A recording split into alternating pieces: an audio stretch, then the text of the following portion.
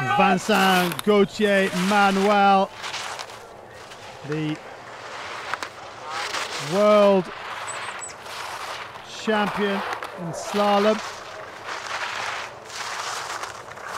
His advantage over Alyabyev was at 0.56, but his advantage over Kate was much, much more than that. Three seconds. Wow. Half of the advantage, more than has gone.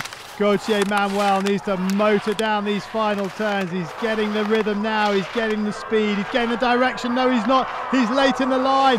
Now that error could well have cost him. He needs to be super clean on these final few turns. 140.74, I think is going to be beyond him. No, he's inside by half a second. He did ski it well. He skied it brilliantly.